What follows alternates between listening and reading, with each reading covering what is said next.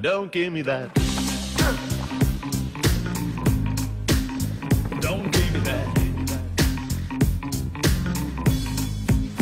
Don't give me that. Oh, baby, you can take everything.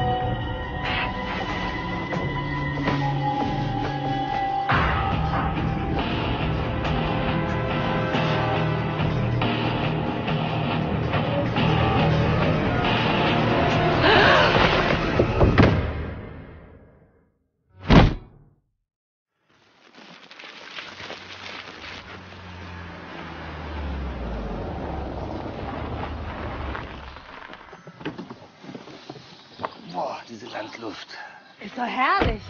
Jetzt Sie kapieren, riecht halt was streng. Das hat für mich den gleichen Zauber wie eine volle Windel. Ah, das entwickelt sich ja allmählich zum Ohrwurm.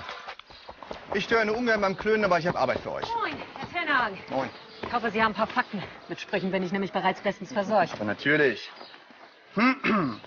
Silke Ahrens heißt die Dame. Sie ist 35 Jahre alt, gebürtig aus Hamburg, Freundin des Hofbesitzers Jan Petersen. Sieht nicht gut aus, sie hat eine starke Kopfverletzung. Ihr Zustand ist kritisch. Der Notarzt meint also, dass es kein Unfall war. Jo.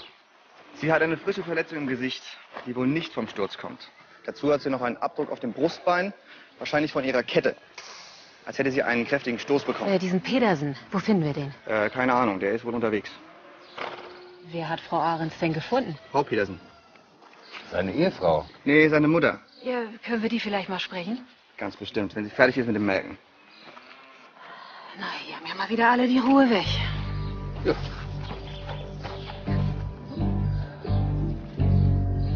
Ah, nee, bitte nicht. Noch Tretminen hier.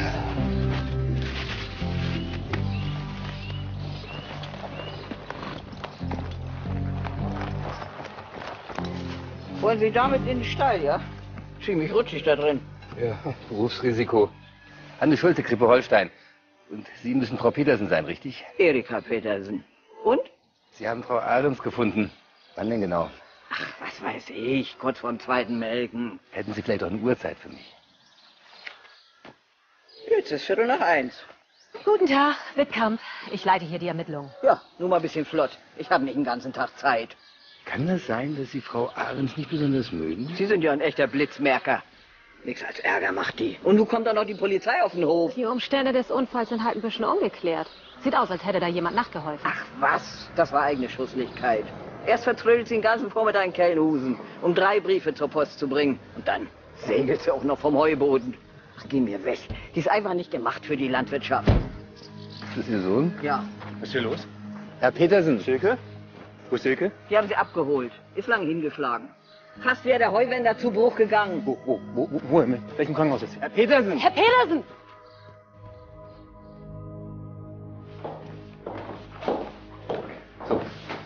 Was wollen Sie von mir? Ich will zu Silke. Ja, natürlich, Herr Pedersen. Sie können gleich zu ihr. Aber Sie haben doch sicherlich auch ein Interesse daran, dass wir herausfinden, was passiert ist.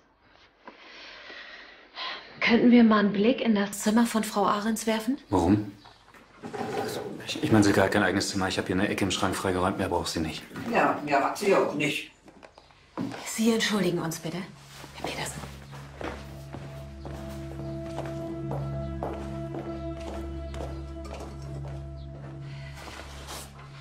Also, sie wohnt hier mit Ihnen unter einem Dach. Aber sie hat keine persönlichen Dinge? Keine Möbel, Bücher, Bilder oder Fotos?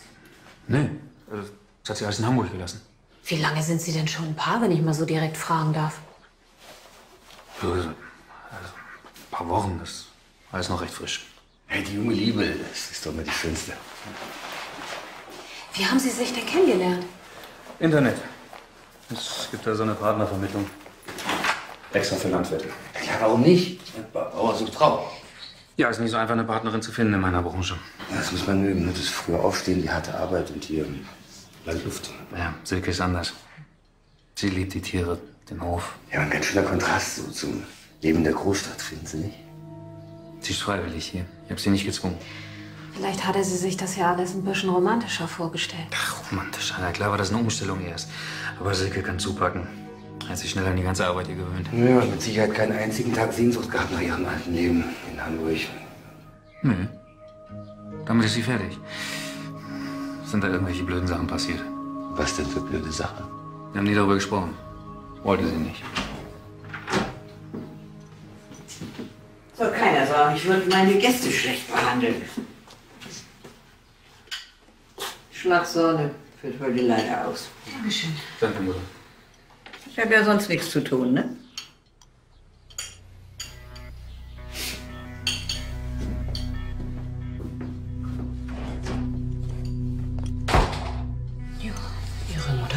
Sich ja eher weniger über ihr neues Liebesglück zu freuen. Ja, da ist noch ein bisschen Luft nach oben.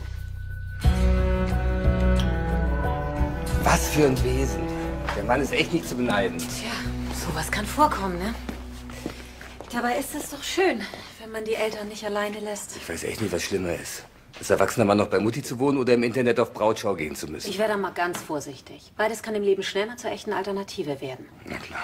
Beide von dir genannten Beispiele liegen übrigens vollkommen im statistischen Normbereich. Bei uns leben fast ein Drittel aller Menschen zwischen 25 und 34 immer noch bei den eigenen Eltern. Hat ja auch Vorteile. Ach was, was kommt jetzt, die gebügelten Hemden oder wie? Und was das andere Thema betrifft, mittlerweile sucht fast jeder zweite Single online nach der großen Liebe. Tatsächlich? Eins, zwei. Das verstehe ich gar nicht, Just. Du bist doch eine super Partie.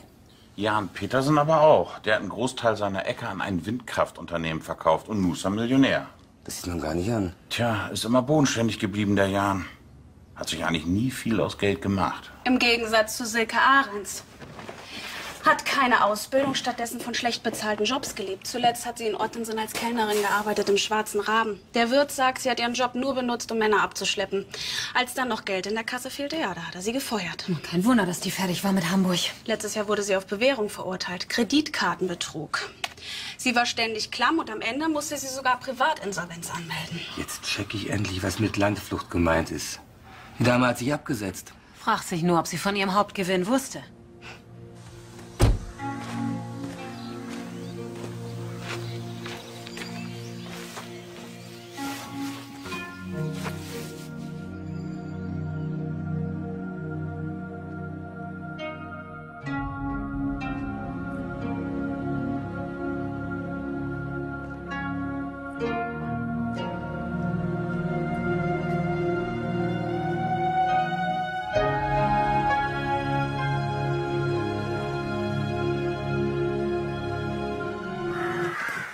Wolltest du nicht das Mähwerk vom Träger reparieren?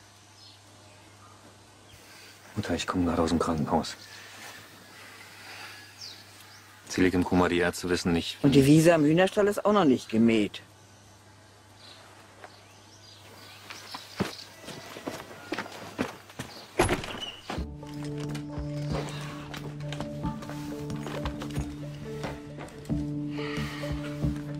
Hier, ich hab dir was mitgebracht.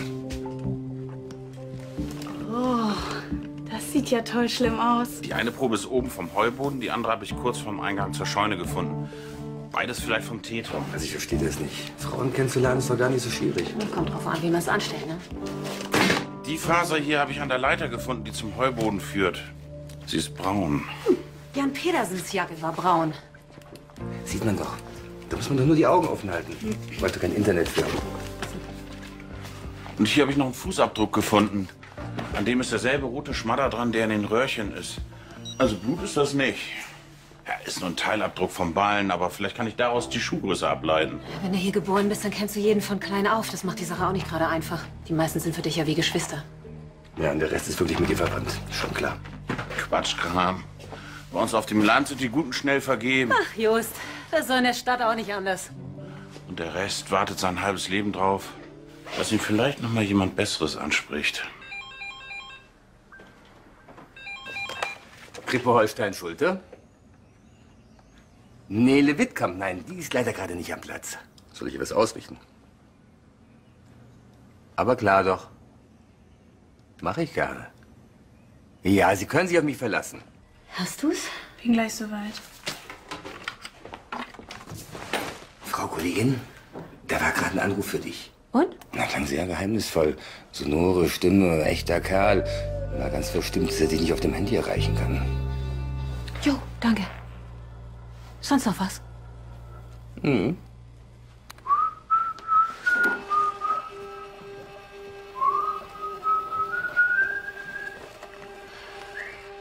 Aha. Wunderbar. Diese rote Flüssigkeit, die Just in der Scheune sichergestellt hat. Bei beiden Proben, die vom Heuboden und die vom Eingang, handelt es sich um dieselbe Substanz. Und welche? Zellulose-Spuren von Proteinen, Vitaminen und Anthocyanen. Ich tippe auf Bragaria magna. Ja, da ist wohl jemand auf eine Erdbeere gelatscht. Erika Pedersen war gerade dabei, Erdbeermarmelade zu kochen.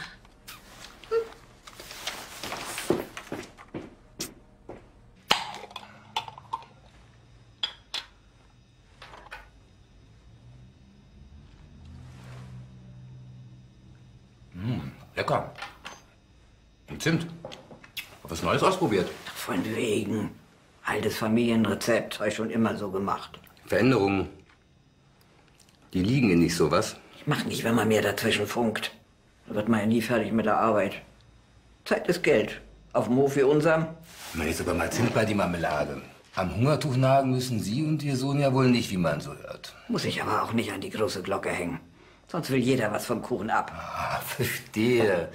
Die darbende Bäuerin. So eine Art Tarnung. Ist Silke Ahrens vielleicht dahinter gekommen? Frauen wie die riechen, wo Geld ist. Das habe ich von Anfang an gewusst. Ihr Sohn sieht es offenbar anders. Der, der ist doch blind vor Liebe. Die taugt nix. Eine Mutter spürt sowas. Und wie weit geht eine Mutter, um ihren Sohn zu beschützen?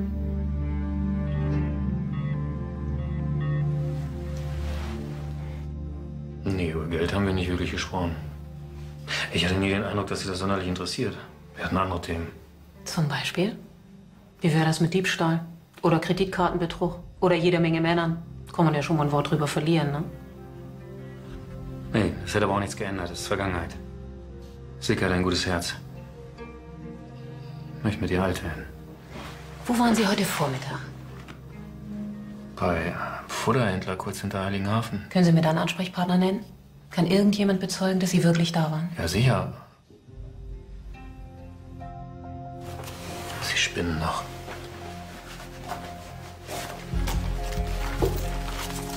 Hier. Kassenbeleg, Datum und Uhrzeit steht drauf. Nun, 9.16 Uhr. Da hatten Sie ja noch genug Zeit, um wieder zurück auf dem Hof zu sein, als Frau Ahrens Ihren Unfall hatte. Ja. Danach war ich bei meinem Bruder auf den Kaffee eingeladen. Bin leider versetzt, kann ja mal vorkommen. Rasmus Pedersen lebt in Kellenhusen. Macht sich wohl nicht viel aus Landwirtschaft. Nee, wir haben noch jahrelang Zuft deswegen. Naja, zwei Hände mehr hätten wir auf dem Hof gut gebrauchen können. Kein Wort haben wir miteinander gewechselt. Und dann kam Silke. Ach was. Ja. Sie hat mich überzeugt, den ersten Schritt zu machen. Seitdem reden wir wieder miteinander. Ich sage ja, sie hat ein gutes Herz.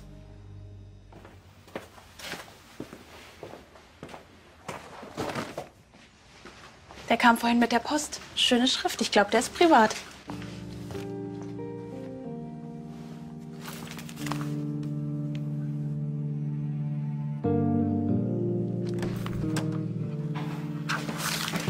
Ich werde nicht schlau aus dem. Den naiven Liebeskasper nehme ich dem irgendwie nicht ab.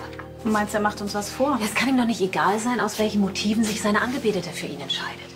Geld oder Liebe? Vielleicht hatte seine Mutter doch recht und Silke Ahrens hat sich nur ein neues Bauernopfer gesucht, um mal wieder ordentlich Kasse zu machen. Und er hat's rausgefunden. Gebrochene Herzen neigen manchmal zu dramatischen Taten.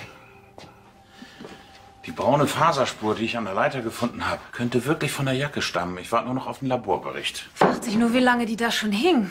Ist kein wirklich verwertbares Beweismittel. Dann schon eher die Marmeladenspur. Der Fußabdruck. Ich habe das mal hochgerechnet. Ist eine 44. Passt perfekt zu den Tretern von Jan Petersen. Allerdings findet man an denen weder Erde noch Beere, sind frisch gewienert. Blüten rein. Ganz im Gegensatz zu seinem Alibi.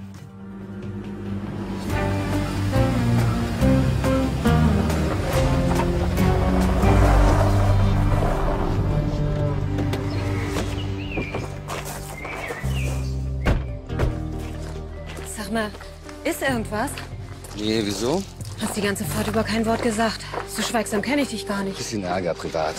Machst du darüber reden? Nee, lass mal. Du trennst es doch immer so gerne. Soll doch schön professionell bleiben.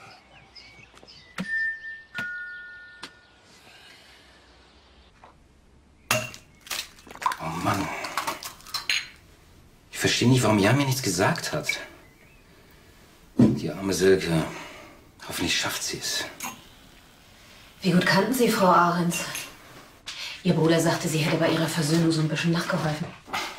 Das stimmt. Wir haben uns nur ein paar Mal getroffen. Die beiden kennen sich erst ein paar Wochen.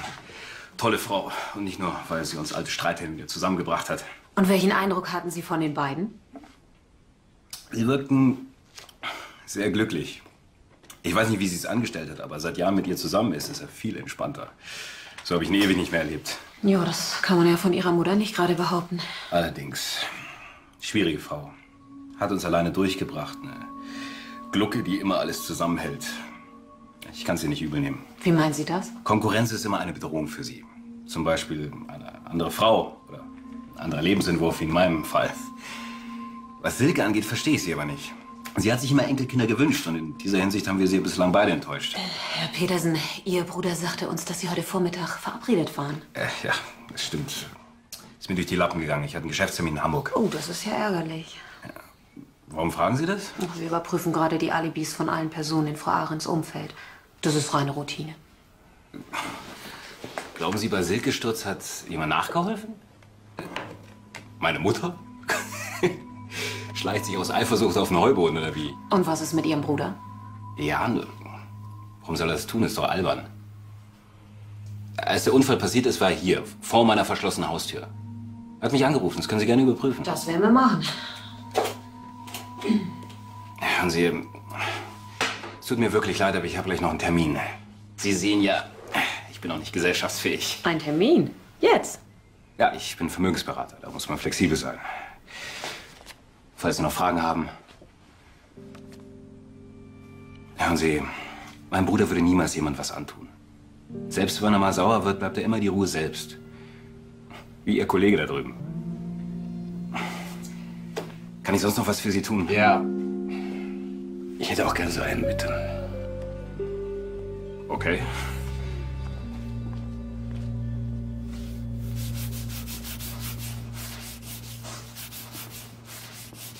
Deine Flucht von meinem Stuhl. Uh, ist ja doch jemand da. Hm.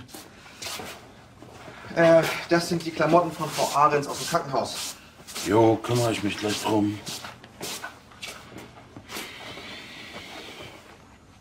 Alles klar bei dir? Ja, ja, ja.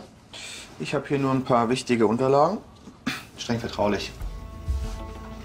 Äh, wann kommt denn Frau Wittkamp wieder?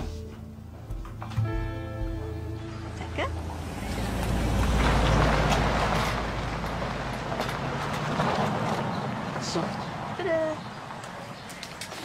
Also das kann auf jeden Fall nicht schaden, wenn du Rasmus Petersen noch mal gründlich durchleuchtest. Mach ich, hol mir nur schnell was zu beißen.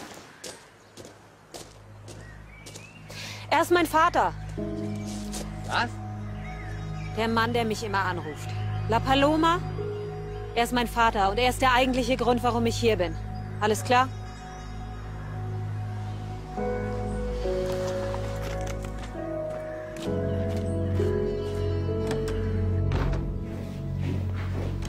Moin, Herr Tenhag. Moin, Frau Wittkamp. Äh, ich habe hier was für Sie. Was ist das? Das darf ich offiziell gar nicht wissen.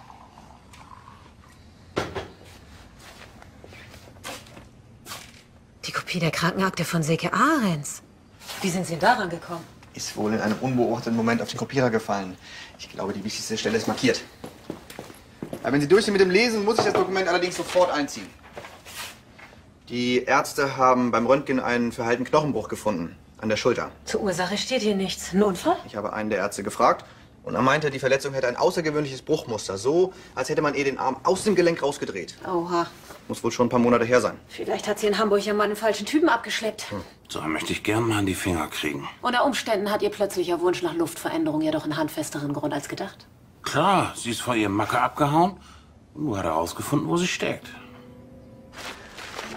Na, Junge, wo drückt der Schuh? Ach, alles gut. Ach Mensch, ich bin doch nicht die Erste, die dich das fragt. Komm. Irgendwie ist manchmal alles so kompliziert. Euer Fall oder die Liebe? Just hat mir erzählt von eurem Fall. Liebe per Internet. Also wenn du mich fragst, die Menschen, die werden auch immer bequemer. Weißt du, und dann ist das nachher wie so eine, so eine Reise aus dem Katalog. Lauter schöne, bunte Bilder. Und wenn du dann da bist, dann ist das Meer nicht so blau, lauter Kippen am Strand. Und das Essen ist fad. Hm? Naja, es ist halt äh, Glückssache. Ist halt immer so ein Risiko, ne? Sehen wir doch mal.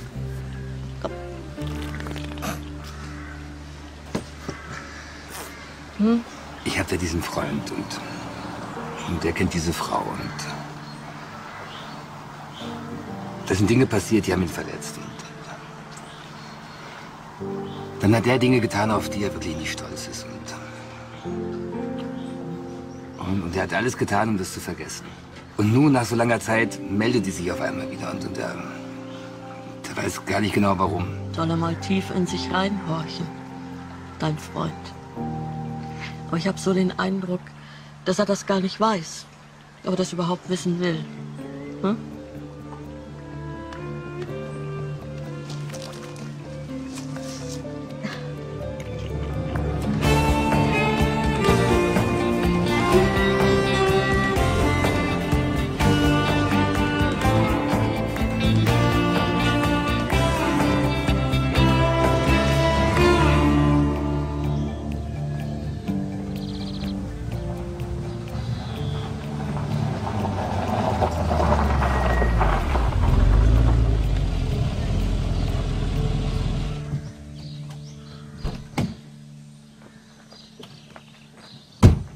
Jan? Der ist bei Silke. Was brauchst du denn diesmal, ne? Ich habe gehört, was passiert ist. Und? Was muss dich das kümmern? Ich wollte sehen, wie es Jan geht. Tja, das sind ja ganz neue Töne.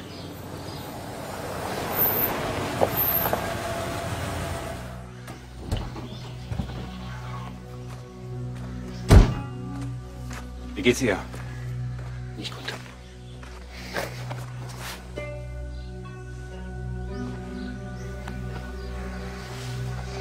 Was denn?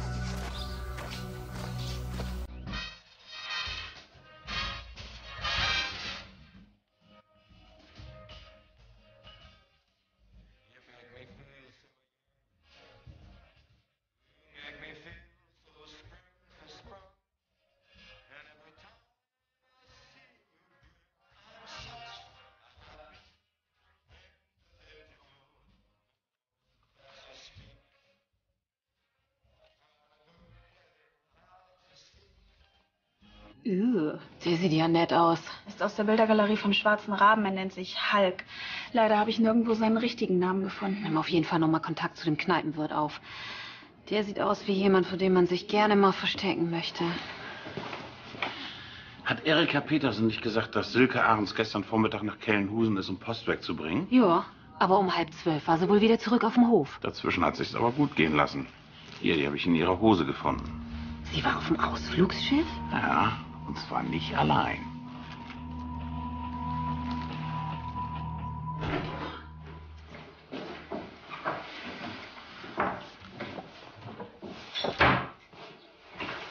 Und? Hat er wieder vom Erbe angefangen? Es geht nicht immer nur ums Geld, Mutter. Aber wegen Silke hier. Hat er das gesagt? Tja, ja. Schön, da er reden konnte er schon immer. Du kannst ihm nicht trauen. Jeder kann sich ändern. Wo war er denn damals, als wir ihn gebraucht haben? Und kaum bist du mit dem Landverkauf zu Geld gekommen. Da steht er auf einmal wieder in der Tür und hält die Hand auf. Das Thema ist durch. Er wurde ausbezahlt und fertig. Hat keine Ansprüche mehr und das weiß er auch. Ach, sei doch nicht so naiv. Siehst du denn nicht, was die alle wollen? Wie meinst du mit alle? Du weißt genau, was ich meine.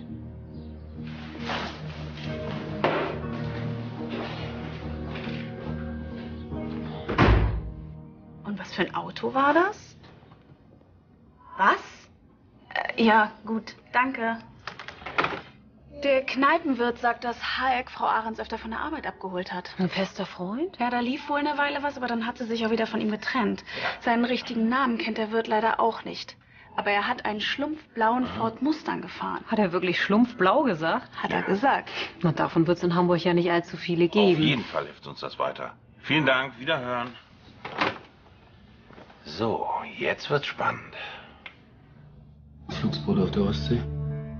Zusammen mit einem Mann. Leider konnte der Kapitän ihn nicht beschreiben. Irgendeine Idee, mit wem sie sich da getroffen haben könnte? Nee, das kann nicht sein. Doch, doch, wir haben das überprüft. Nee, da hätte ich, hätte ich was gemerkt. Das muss eine Verwechslung sein. Vielleicht war das jemanden, den sie von früher kannte. Aus Hamburg. Ich habe Ihnen doch gesagt, mit Hamburg war sie durch. Aber vielleicht war Hamburg noch nicht mit ihr durch und jemand hatte noch was zu klären. Ihr Ex zum Beispiel. Hat sie mal den Namen von ihrem Ex-Freund erwähnt? Oder hat sie sich sonst irgendwie auffällig verhalten?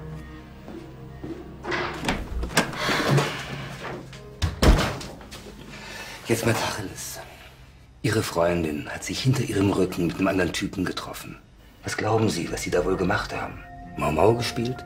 Nee, so eine Silke nicht. Ach nee? Schulte. Sie haben doch längst gemerkt, dass da was ist. Dass Ihnen etwas verschweigt, oder?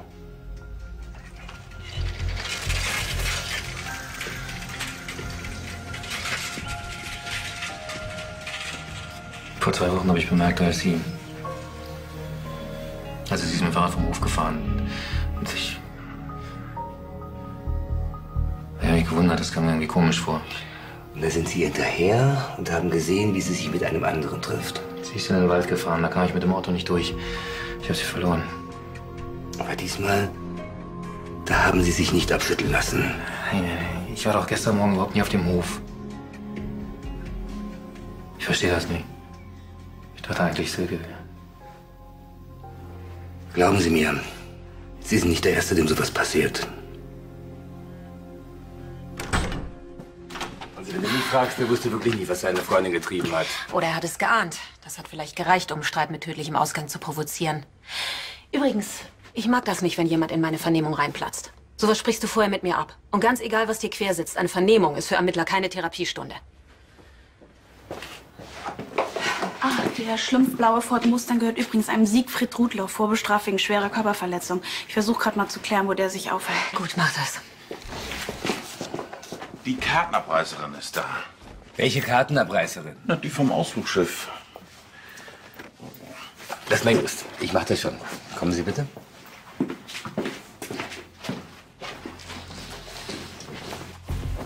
Oder?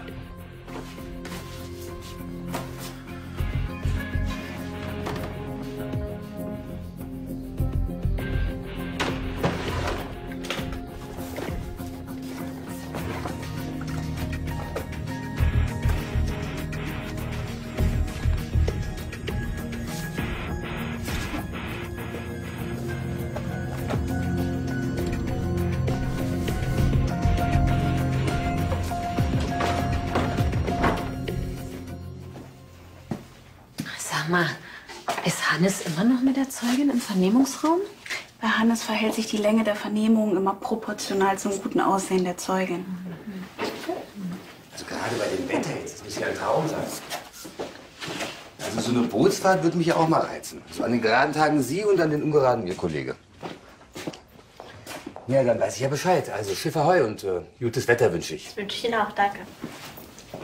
Und? Hast du was Spannendes rausgefunden? Na, sie ist Psychologiestudentin im fünften Semester und verdient sich als Kartenabreißerin was dazu. Außerdem hat sie eine Handynummer, die sich super merken lässt. Hannes. Na, was denn? Sie will sich niederlassen mit einer eigenen Praxis. Ich will mich auf die Warteliste setzen lassen. Heutzutage wartet man doch ewig auf einen Termin. Und konnte die Frau den Mann beschreiben, mit dem sich Silke Ahrens getroffen hat? War es der Ex-Freund? Nö. Aber jemanden, den wir bereits kennen. Jan Petersens Bruder. Ja, Nicole hat ihn eindeutig identifiziert. Nicole. Hm?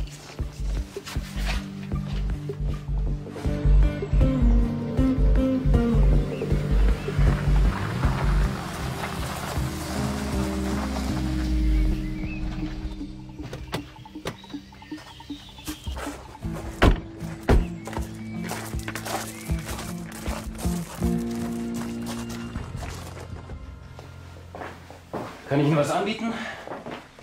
Kaffee vielleicht? Nein, danke. Oder vielleicht einen kleinen Aufsteller? Bin wieder in absoluter Topform. Herr Petersen, warum haben Sie uns verschwiegen, dass Sie Frau Ahrens gestern Vormittag getroffen haben? Was lief da zwischen Ihnen? Nichts, da lief gar nichts. Ja, wozu dann das heimliche Treffen? Also ich kann ja verstehen, dass, dass Ihnen das komisch vorkommt, aber ich habe das nicht erwähnt, weil ich wollte nicht, dass mein Bruder das erfährt. Wissen Sie, Jan und ich, wir, fangen gerade an, uns langsam wieder besser zu verstehen und da wollte ich nicht, dass er irgendwas in den falschen Hals bekommt. Jetzt kommen Sie mal wieder auf den Punkt. Wieso dieses Treffen? Um eine Überraschung zu planen für Jans 40. Und was genau hatten Sie da geplant? Ja, alles, was man so braucht. Location, Buffet, Partyspiele, das ganze Programm. Und wir wollten zwei Lieder auf Jan umdichten. Selbstgedichtete Lieder. Wie nett. Und wo waren Sie nach der Schiffstour? Zwischen 10 und 12? Hier, ich bin gleich nach Hause gefahren. Kann das jemand bezeugen? Leider nein, da war ich allein.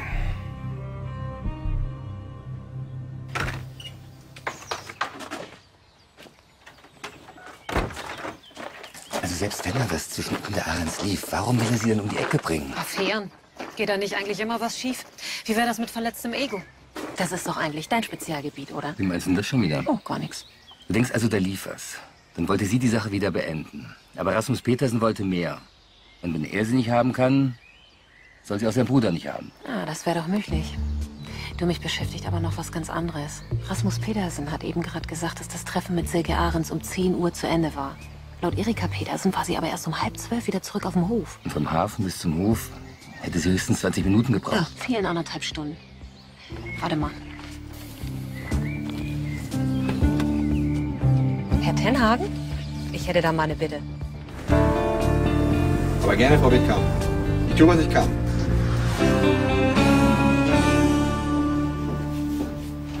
Just hat gesagt, du hast was für mich. Ja, das Ergebnis aus dem Labor ist da. Hier. Bei der braunen Faser von der Leiter handelt es sich eigentlich um eine weiße Kunststofffaser, die verschmutzt worden ist. Verschmutzt? Wodurch? Durch Lebensmittel. Von Fleischsaft bis Obstsäure ist alles dabei.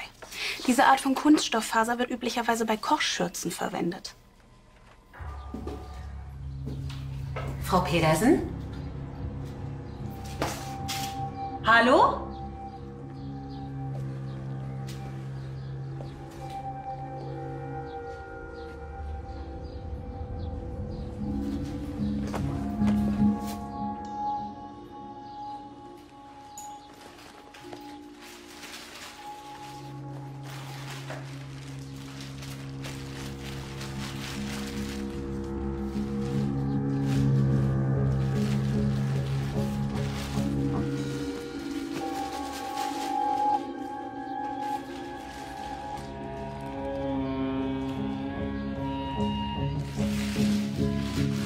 Klaut sogar die Polizei. Ich sammle Beweismittel. Wir haben an der Leiter zum Heuboden eine Faser gefunden. Die stammt wahrscheinlich von einer Kochschürze. Ja und? Ich war ja auf dem Heuboden. Ich bin zu Silke rauf, um ihr zu sagen, dass sie mal wieder den Misthaufen nicht richtig gewendet hat. Der hat schon gedampft. Da bilden sich Gase. Ein Funke. Der ganze Hof fackelt ab. Ja, und dann haben sie mal wieder mit ihr gestritten und da ist sie den Heuboden runtergefallen. So ein Blödsinn. Die war quietschfidel, als ich gegangen bin. Warum haben Sie uns das denn nicht gleich erzählt? Hätten ja mal fragen können. Was haben Sie eigentlich für eine Schuhgröße? 38? Nie und nimmer. Nee, na, das ist eine 44. Sind von meinem verstorbenen Mann. Viel zu schade zum Wegschmeißen. Die stopfe ich vorne mit Zeitungspapier aus und gut.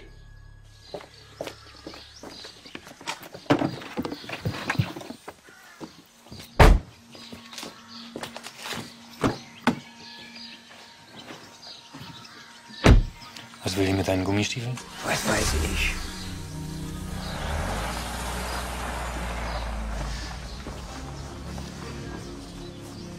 Was hast du gemacht, Mutter? Jetzt fängst du auch noch an. Ich war das nicht!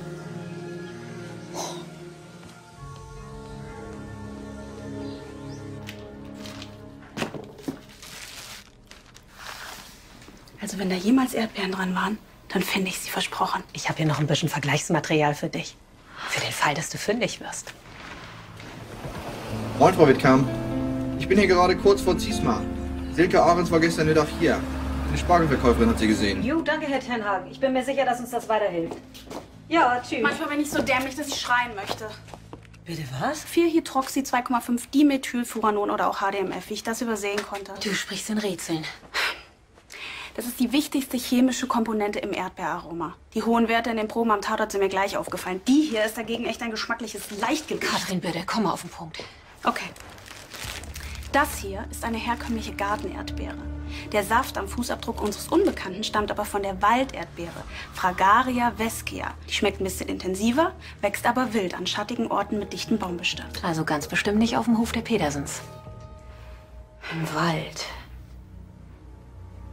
Petersen hat doch erzählt, dass er Silke Ahrens bis zum Waldrand nachgefahren ist. Stimmt. Ja, weil er misstrauisch wurde, vielleicht zu Recht. Irgendjemand hat sie da getroffen. Vielleicht sogar regelmäßig. Und ihre Waldbekanntschaft hat sie dann in der Scheune attackiert. Darauf deuten zumindest die Spuren vom Tatort.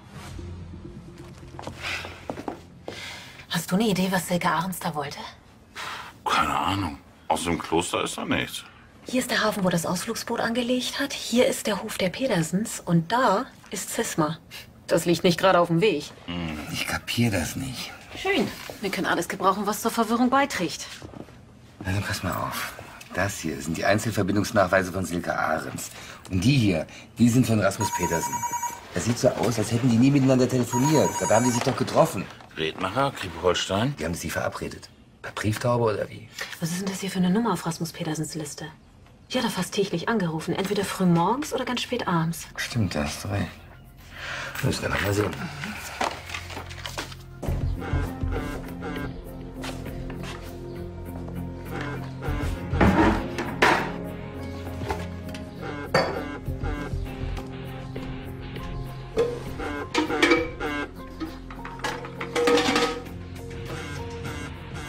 Meldet sich keiner. Versuch mal rauszufinden, zu wem die Nummer gehört. Also ich sag das jetzt nur ungern, aber an den Gummistiefeln von Erika Petersen habe ich nicht die Spur von Erdbeerresten nachweisen können. Nicht mal eine klitzekleine. Wäre ja auch zu schön gewesen. Dafür hat Rasmus Petersens Bankberaterin angerufen. War gar nicht so leicht, der was aus der Nase zu ziehen, aber zufällig kenne ich ihren Chef. Zufällig. Wir kegeln zusammen. Petersen ist wohl ein ziemlicher Schaumschläger. Seine Bude ist mit einer Hypothek belastet, der Sportwagen nur geleast. Und auch sonst sieht's auf seinem Konto richtig schattig aus. Hab doch geahnt, dass der nicht ganz sauber ist. Finanziell ist er also genauso klamm wie Silke Ahrens. Nur mal angenommen. Was wäre denn, wenn die beiden sich von früher her kannten? Rasmus Petersen hat doch gesagt, dass er Kunden in Hamburg hatte. Vielleicht hat er Silke da kennengelernt. Er weiß, dass sein Bruder auf Brautschau ist, setzt Silke Ahrens auf ihn an, damit die eine Weile um sein Geld erleichtert. Die wirft den Köder aus und der liebestrunkene Jan Petersen tappt in die Falle. Tja, da lief doch alles nach Plan. Warum wollte sie jetzt über den Jordan schicken? Vielleicht wollte er das Geld für sich alleine haben. Hm, Das gehört mir nicht. Muss es her? War versteckt. Gehört bestimmt Silke.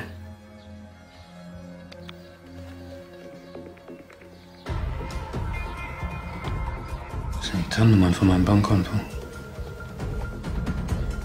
Ist die PIN. Das hat sie abfotografiert, dieses Miststück.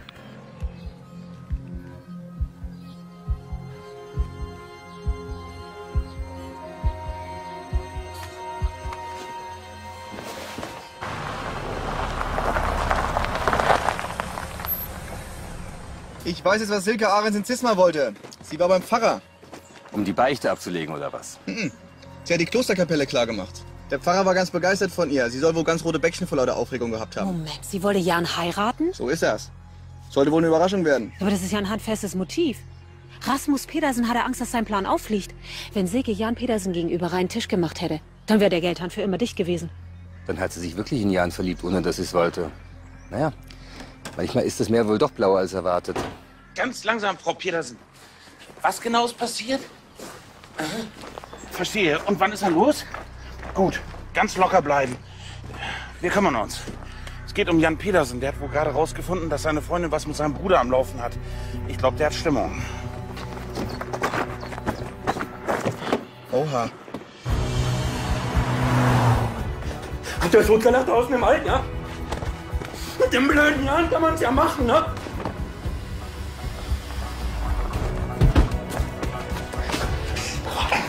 Ich bin gerade ein Vermögenssachen, ne?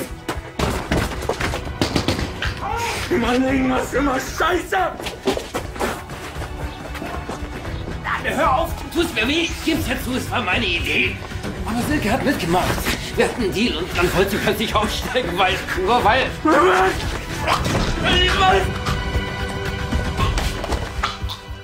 Lassen Sie ihn los.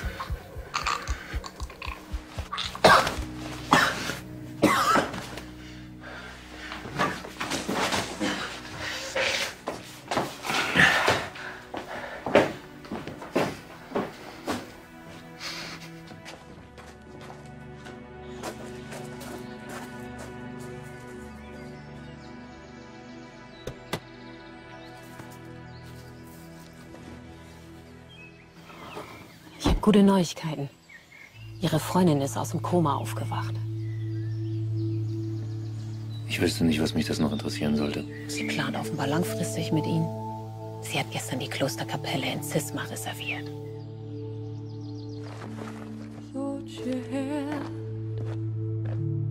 All the answers to rest your